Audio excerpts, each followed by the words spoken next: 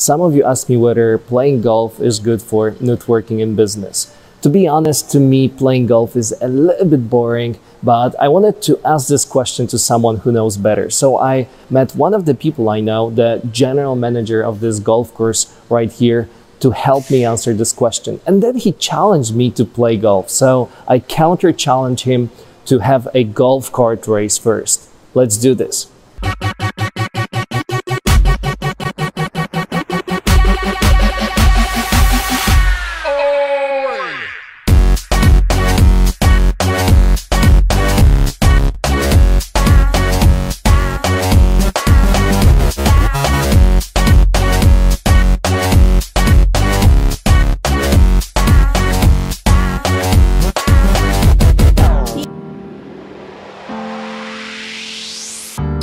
So I won the race with the director of this golf course, but unfortunately he brought his girlfriend with him and she turned out to be really good golf cart racer. And actually she won and she was on the golfers team. So I actually had to assign this first point for my challenge to them, which made me a little bit annoyed. Then we went to play golf, and I was a little bit worried because I knew that I have no chance to win golf with the golfers.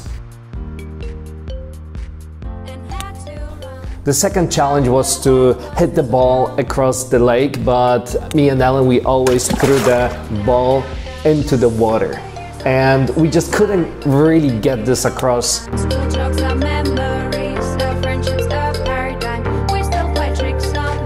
The next challenge was short shot, and here I could use a little bit of cheating, and I was able to put the ball really close to the hole, and I was able to pretend that I actually got the point, so I convinced my editing team to actually add this part where I'm aiming in there and I'm getting point for the tribers.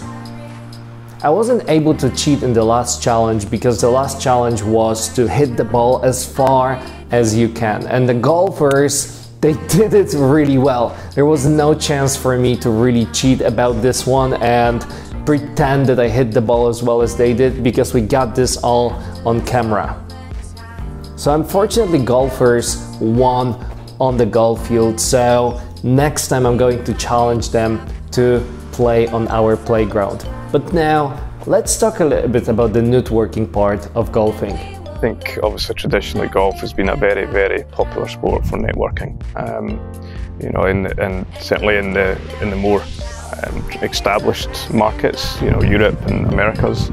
Um, again, you come to Asia where it's a very elitist sport still. Um, you know, it, it, gives people the opportunity to, to spend almost five hours on the golf course with someone. So to have a meeting with a CEO or a managing director or a general manager for five hours on your own, dedicated time with him, it'd be almost near impossible in a, a normal meeting environment.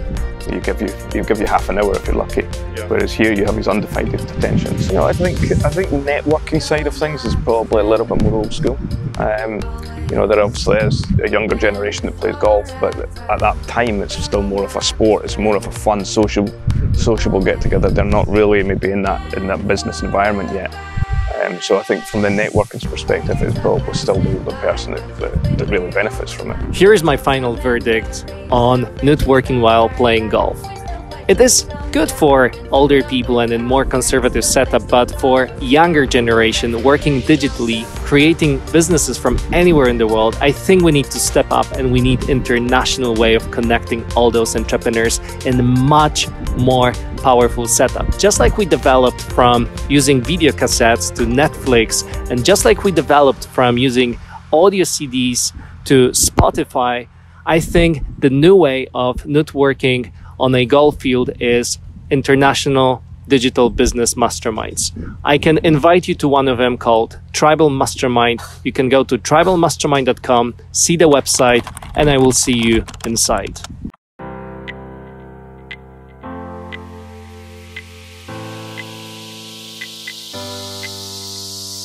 Breathe and feel the life and feel our heart.